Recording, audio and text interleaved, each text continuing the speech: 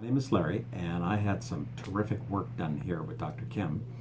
Uh, unfortunately, I had a problem with my wisdom tooth, so he had to go in below the gum line, take it out, and um, deal with it, and he did just a wonderful job.